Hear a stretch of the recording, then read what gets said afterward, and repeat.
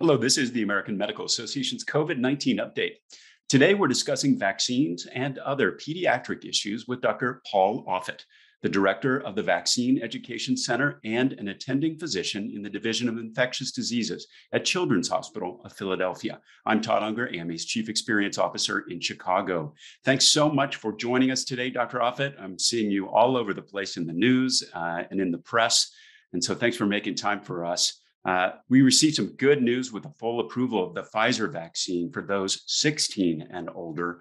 But there are a lot of questions about children, namely the timeline for vaccine authorization for kids under 12. Can you offer any insight there, and uh, both for the five to 11 year old set and for children under five? Well, uh, my understanding is that the companies have not yet submitted data to the FDA for review for the sort of 5 to 12 year old. Hopefully that will happen soon. I, my sense is we may not have a vaccine till winter for children, which is too bad because what's about to happen is that you're about to have a group of fully susceptible people all in one place with a highly contagious virus, transmissible virus like the Delta virus. And in some communities where, you know, where disease rates are high, I really do worry that that's a recipe for a problem as we come into the school year. Plus, as we move to winter, this is a winter virus. It's spread much more easily in cooler, drier climates. So that's not a good confluence of events. Uh, I know it's uh, on on the minds of a lot of parents uh, as their kids head back to school. You know, how is the vaccine authorization different for younger children, and why does it feel like the timeline is so much longer? You know, are there additional considerations, especially when we're dealing with a relatively you know new platform like the mRNA vaccine? Right. So, so I think it was fairly easy to extend down to the 12 year old because you had a lot of data on the 16 to 17 year old. Not a huge difference between that and the 12 to 15 year old. So it was the same dose. In the case of the Pfizer vaccine, 1730 micrograms, it was the same dosing interval, which is three weeks. So you could do a 2,300 child study fairly quickly and get information. And in that case, you knew that there were 18 cases of COVID in the in the placebo group and none in the vaccine group. The vaccine worked. It was safe. It was highly immunogenic. When you start to get down to children five years of age, uh, you need to do dose ranging studies, so-called phase one studies. Um, is it is it is it a 30 microgram dose or is it a 10 microgram dose, 20 microgram dose? Is it a 30 microgram dose? Is it the same dosing interval? So you have to do those studies to look at the immune response with different dosing to see whether you have the right dose. Then you move to phase two studies where you, you now you have the dose, you have the dosing interval, you do more children, say a few hundred children, and then you go to the phase three studies. Um, so, and you know, you, you're giving the vaccine probably to what will be 4,000 children, 10,000, 7,000 children. Um, but you want to make sure it's safe uh, because, you know, you're about to give it to millions of children. So I, I know it's really frustrating. I'm frustrated. You like to have a vaccine as soon as possible. But most importantly, you want to make sure that it's safe before you put it out there into the arms of millions of children. Absolutely. And we know that the FDA recently asked Pfizer and Moderna to expand their clinical trials for kids. Um, you know, is there anything beyond what you just kind of laid out uh, in terms of backgrounds about why that's needed?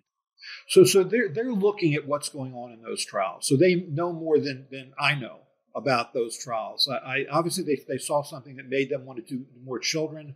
I think that in terms of safety issues, um, the, the, historically, there has never been a serious adverse event from a vaccine that occurred more than six weeks after a, a dose. So, um, extending the vaccine safety till two months afterwards makes sense. Um, whether they want to extend it further, that wouldn't make as much sense, but I'm not sure that's what's going on. I think the, the issue is just what you described, which is they just want more children, and they may want more children because they don't have enough children, say in the placebo group, who've gotten ill that have made it clear whether or not this is uh, this is effective or not. Can you just uh, repeat something you just said, which is about uh, are there any examples that occurred out that outside that six week window? You, I just want to emphasize that. Uh, any any medical product that has a positive effect will have a negative effect. That's always true. I think that um, if something doesn't have any negative effects, it probably never had a positive effect. So, witness these sort of the way dietary supplements are often sold. So, I, I think that what what happens um, if you look historically um, at serious adverse events like polio which was a, a consequence of the oral polio vaccine. It was very rare, one per 2.4 million doses, but it was a real phenomenon. It happened within a month of, of a dose. Um, if you look at thrombocytopenia, which is a lowering of the platelet count that was associated with measles vaccine, but it occurred in roughly one per 25 to 30,000 children. Um, it was rare, but it too was real. If you look at Guillain-Barré syndrome, which is a consequence of the influenza vaccine, um, that too occurred usually within a, a, month of getting the dose, or narcolepsy, which was a, a, permanent disorder of wakefulness that was associated with the squalene adjuvanted flu vaccine given in Europe, also all occur within a month of the dose. So, so the point being that vaccines can cause serious adverse events.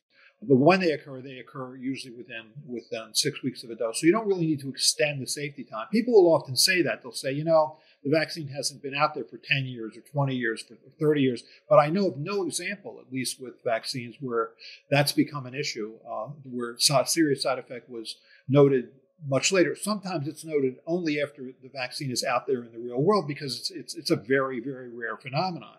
Say clotting associated with J and J's vaccine, you know, which would occur in say one per five hundred thousand people. You're not going to find that out pre-approval. You're only going to find that out after it's in the into into the general population. But it's not because it took longer uh, for that uh, side effect to occur. It's just because you needed to vaccinate more people to see that it had occurred. Yeah, that is one of the reasons that you mentioned that concern that you hear out there about uh, uh, the longer term uh, impact, and so it's so important how you clarified that. Um, you know, on the topic of misinformation that's been circulating about the vaccines, um, you know, there are a lot of uh, parents obviously were eager to get the vaccine themselves, and uh, for whatever reason, some are less willing to get it for their children. You know, I'm sure you hear a lot of the misconceptions uh, uh, about vaccinating kids. Can you talk about some of those top ones and how you address them? Well, I think I think people are generally always sort of hesitant to vaccinate their children. I mean, they they reasonably put safety first, and you know, it's a little scary, right? You're you're taking a a needle and syringe, you're injecting uh, into the muscle a biological agent, which generally most people don't understand particularly well. So it's easy to see how they would be somewhat scared. And you, you see it now. I mean, you, know, the, we've had a vaccine now for many weeks for the 12 to 17 year old, yet only about 30% are vaccinated. I was just on service last week, and we had a number of kids in the hospital who were adolescents that could have been vaccinated that weren't. Uh, what was even more concerning, or which was equally concerning, was we had a number of children in the hospital who were less than 12 who couldn't be vaccinated, and their parents also weren't vaccinated, which just also put those children at risk. So it is hard. I mean, vaccines don't work as a concept. You actually have to give them to people in order to get them to work. So that is frustrating. The, the kinds of uh, things that you hear are, I don't want to get the vaccine because it's not fully licensed yet. Well, now it's fully licensed, so you, so that's off the table. Or people say, I don't want to get this genetic vaccine because it's going to alter my DNA, or it's going to affect my fertility, or it's going to make me magnetic. I mean, you hear all these sort of things, and they're, they're none of them are true. But and I think the reason that people uh, uh, attach themselves to those kinds of misperceptions is because they're scared. And they really don't want to get the vaccine and they're looking for reasons not to get it. And the internet is able to provide those reasons. I mean really there is no good reason not to get a vaccine just a lot of bad reasons. We're going to return to that topic of uh, protecting kids in a minute. Um, but i think you know clearly the delta variant has kind of changed the calculation here. You know any additional you know science uh, that you're seeing about the variant's impact on children? Is this just you know more transmissible? Or are you seeing more serious disease so it's clearly more transmissible. Uh, that's not an issue. Um, the Delta variant is more transmissible than the previous variant, was the Alpha variant, which was more transmissible than the variant before that, which was the so-called D614G variant. So that's three variants in a period of a year and a half. Do I think that there's going to be more variants in our future? No doubt about it. So we need to stop this pandemic as quickly as we can. Um, I think in terms of children, it, it, it certainly it's I've seen anywhere from 14 percent to 18 percent of all cases now are in children because we vaccinated the older population, or the older population has got infected already, or those who were going to die have already died from that um, infection. So we're we're seeing more disease in children certainly, and the, the the numbers I've seen most recently is that two percent of those who are those children, meaning less than 18 years of age, who are infected are hospitalized. That is higher than the previous rate, which was closer to 0.5%. So it may well be more virulent, uh, meaning more likely to cause serious disease. The CDC did present at the last ACIP meeting, Advisory Committee for Immunization Practices meeting, uh, three studies that also claim that this virus was uh, more virulent in addition to being more transmissible. That is scary. And in addition to uh, you know what you're talking about, there is also the concern, which I think some people don't factor in here about long COVID. Um, we've seen, you know, uh, uh studies in you know prior segments that we've done here on the COVID nineteen update, which say you know very significant amount of people, uh, almost one in five, uh, that you know had even moderate symptoms are experiencing some kind of long uh, term effect. You know, what are you seeing in children? Is that a concern there as well? It's pretty frightening. I mean, children are have usually an asymptomatic infection. They just happen to be picked up serendipitously as having uh, shedding virus because they were exposed to someone, a friend or family member, and then they, they, they a month goes by. They're no longer shedding virus anymore. They have antibodies in their bloodstream, and they come in with high fever, evidence of lung disease, heart disease, liver disease, kidney disease. A subset of these children go on to become sort of long haulers. You really can tell when you walk into the room. They have this sort of brain fog that is unique. This is a scary virus. I mean, and, and in addition, about 400 children plus have died from this virus already. So we clearly need a vaccine for children. And what worries me is when we get a vaccine, we will get a vaccine, hopefully by uh, no later than the beginning of next year, that people won't give it for the same reason they're not giving vaccines to the older to the older child. I just um, worry about this. We, we're not going to get on top of this pandemic until we vaccinate this population, and children less than 18 represent about 20% of the population. Uh, you know, we talked about return to school and uh, the risks associated with that for unvaccinated uh, kids.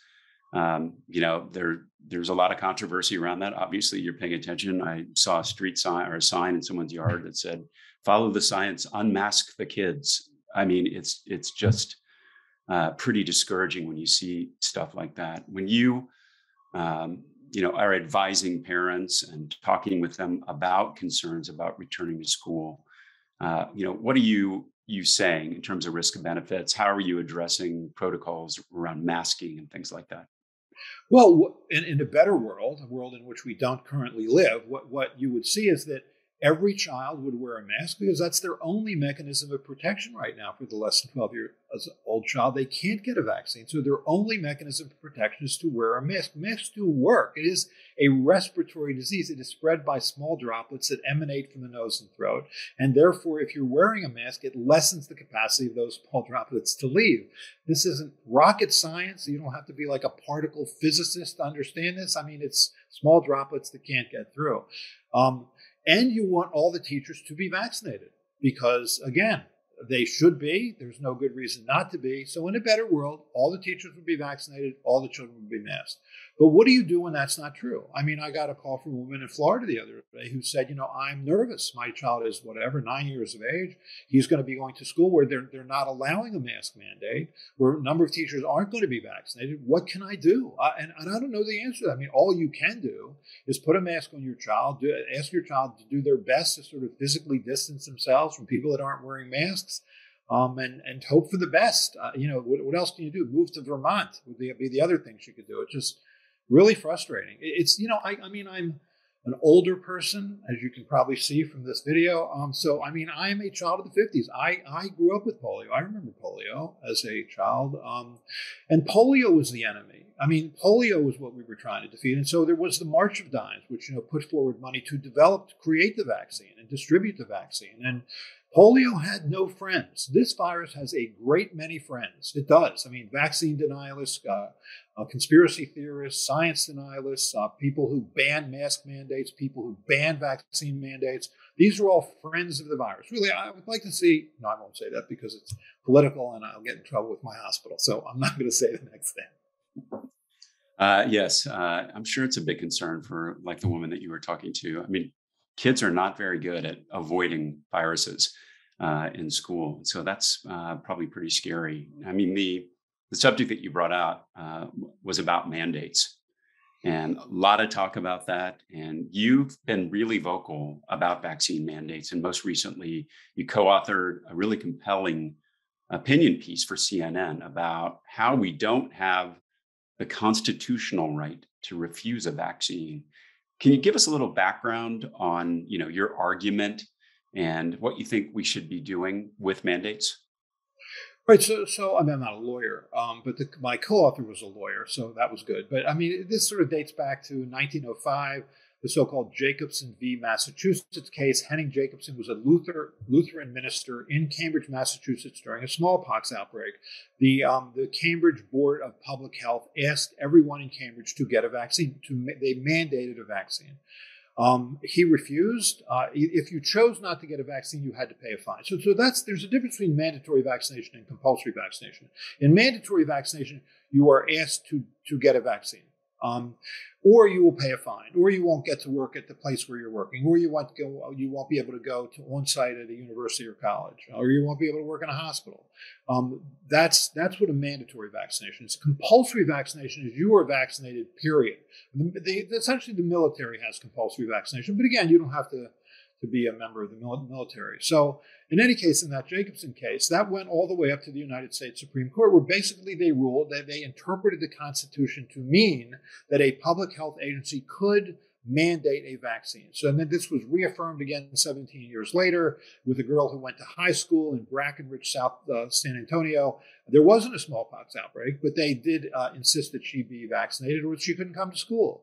That they just and that that ruling also reiterated the Jacobson v. Massachusetts ruling. So it's not your right to catch and transmit a potentially fatal infection. When people say this is my personal freedom, this is my body's autonomy, this is my civil liberty, that's just wrong. I mean, you know, if I choose not to get a tetanus vaccine and get tetanus, that doesn't affect anybody else. Tetanus isn't a contagious disease. No one's going to catch tetanus from me. But this is a virus which is transmitted to others. How do people think other people are getting this virus? And it's not your right to do that any more than it's your right to run a stop sign because you feel that it's impinging on your civil liberties to have to stop at an intersection.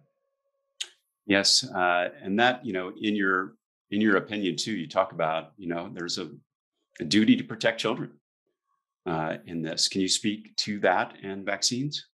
That's exactly right. I mean, just just uh, uh, uh, Marci Hamilton, who's a lawyer at the University of Pennsylvania, basically made a Fourteenth Amendment argument that um, equal protection under the law, that everybody deserves equal protection under the law, including children and including children whose parents have misconceptions about vaccines. That doesn't make them less protectable.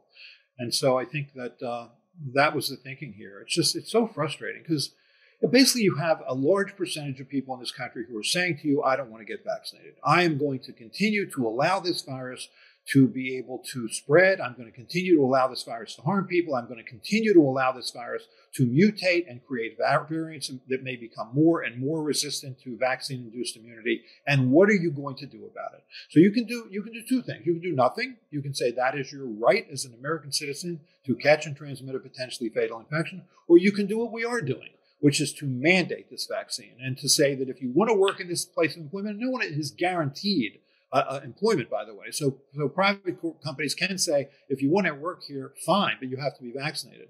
And so universities can do it. Colleges are doing it. Obviously, the Penn healthcare system is done at Children's Hospital Philadelphia, where I work, is about to do it. If you don't want to get a vaccine, then don't work here. Um, we're and, seeing, and, uh, yeah, we're seeing that supported, uh, you know, all the way up through the Supreme Court, whether it's uh, you know, a health system or you know Indiana University. Um, so there's there is definitely support for that. And the implications of not getting people vaccinated are, you know, they're obvious. But you know, one of the things we were talking about before we started the recording today, I was just reacting about uh, Dr. Fauci's comment about, you know, uh, spring of 2022 as being hopefully a period at which we would be on top of this. You know, what's your outlook there, and what happens if we don't make progress here on the vaccination front.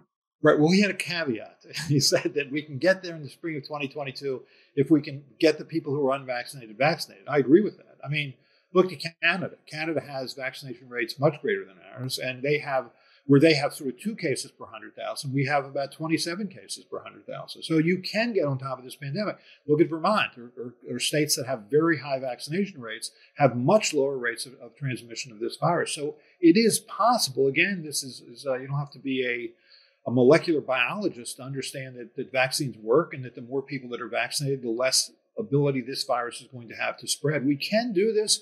We have the power in our hands to do this. It is remarkable to me that a significant percentage of the population is choosing not to do it. Indeed, that is that's a big asterisk and one that's so important just to protecting each other. uh, our economy, and so much more. Dr. Offit, always a pleasure to have you here on the COVID 19 update. Thanks for being here. Uh, we'll be back soon with another segment. In the meantime, for resources on COVID 19, visit ama assn.org slash COVID 19. Thanks for joining us. Please take care.